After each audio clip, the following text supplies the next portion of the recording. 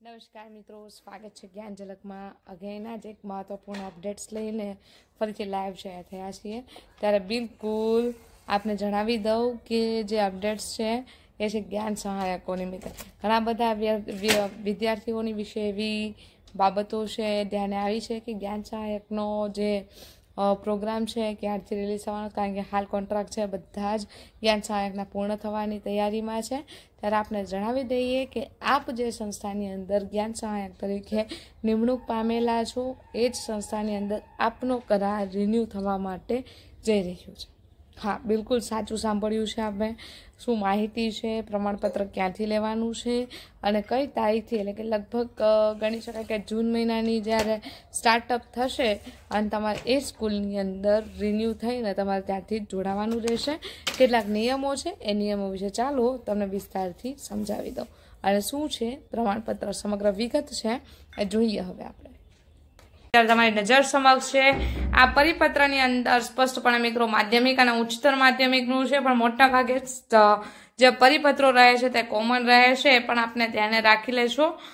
ત્યાર પછી મિત્રો વાત કરીએ આપણે તો આ જે પરિપત્ર છે રિન્યૂ કરવા બાબતની જે બાબતો છે, એમને સૂચવતો પરિપત્ર છે.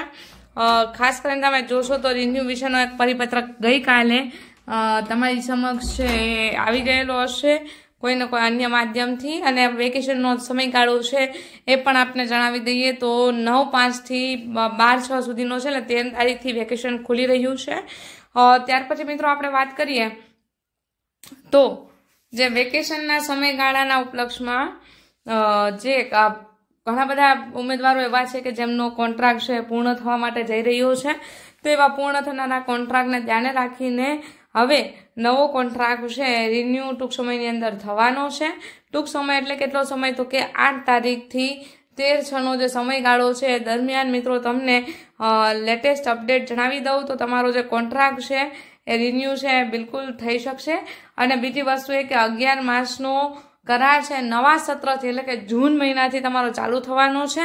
પ્રશ્ન હવે એ થશે કે જે તે સ્કૂલ તમે સિલેક્શન કરેલી છે, એ સ્કૂલની અંદર તમારો કરાર રિન્યૂ થવાનો છે. આ કરાર રિન્યૂ થવા પાછળ તમારે એક પ્રમાણપત્ર તમને આપવામાં આવશે. જે પ્રમાણપત્ર અત્યારે તમે સ્ક્રીન ઉપર જોઈ રહ્યા છો આ પ્રમાણપત્ર છે હાયર સેકન્ડરી અને સેકન્ડરીનું છે. જેથી આ પ્રમાણપત્રની અંદર જિલ્લા શિક્ષણ અધિકારી કચેરી તારીખ દર્શાવવામાં આવેલી છે અને જે પ્રમાણપત્ર તમને અત્યાર સુધીનો તમામ પગાર ચૂકવાઈ ગયેલો છે, એ માટેનું રહેવાનું છે. આ જ રીતે જિલ્લા પ્રાથમિક શિક્ષણ કચેરી દ્વારા પણ તમને આવું જ એક પ્રમાણપત્ર છે ડિસ્ટ્રીબ્યુટ કરવામાં આવશે. ત્યાર પછી મિત્રો વાત કરીએ તો કરાર રિન્યૂ થવાની કેટલીક શરતો છે જે મેં તમને કીધું એમ જે તે શાળાની અંદર જ કરાર છે રિન્યૂ થવાનો છે. અને બીજી બાબત એ પણ આપણે ધ્યાને રાખી દઉં કે આ જે જ્ઞાન સહાયક છે, એની કામગીરી સંતોષજનકનું પ્રમાણપત્ર તમારે જે તે સંચાલક મંડળ, જો મંડળ આધારિત સંસ્થા હોય, જો મંડળ આધારિત સંસ્થા નથી ને માત્ર સરકારી સંસ્થા છે, તો તમારે ત્યાંથી મેળવી લેવાનું રહેશે એસએમડીસીમાંથી ત્યાર પછી તમારું જે પ્રમાણપત્ર છે, એના આધાર ઉપર તમને એ જ શાળાની અંદર તેર છ બે હજાર ચોવીસના રોજ તમારી નિમણૂક છે કરવામાં આવશે. અને ત્યારથી તમારો જે સમયગાળો છે, અગિયાર માસનો ગણાશે. અહીં વેકેશનનો પગાર તમારો ધ્યાને લેવામાં નહીં આવે, એ પણ ધ્યાન રાખજો. ત્યાર પછી વાત કરીએ તો પાંચ મુદ્દાઓ તમારી માટે ખૂબ મહત્વના છે. આ પાંચ મુદ્દાની અંદર જે સંતોષકારક પ્રમાણપત્ર છે તમારે મેળવવાનું છે.